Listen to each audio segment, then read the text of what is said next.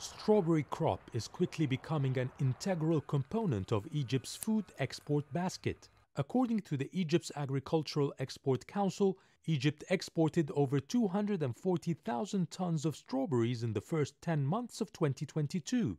That's a 30% increase year on year. Egypt is ranked fifth in the world for strawberry exports and the top globally in the exports of frozen strawberries. The favorable cooler weather in winter is one reason for this success, but there are other factors too.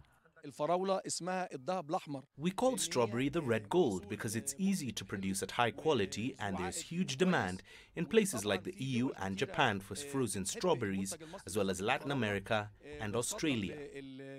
Abdel Fadil and his family grow strawberry on this small piece of land they bought six years ago. Though a bit costly to cultivate, strawberry has high yields, is profitable and is exported, which makes it attractive crop for farmers. We just need more fertilizers to increase production. There were challenges, however. Some farmers had to cultivate wheat instead of strawberry to make up for the shortage of the strategic wheat supplies locally after the Russia Ukraine conflict broke out. And the recent local currency devaluation hiked production costs, but experts say conditions are quickly improving.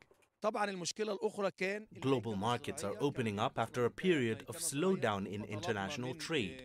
We recently received the modern agricultural equipment that we demanded for a long time to increase our yield as well as the required supply of fertilizer to keep up with the higher production levels. The government is also allocating more land for strawberry production to achieve the targeted 20% increase in volumes in 2023.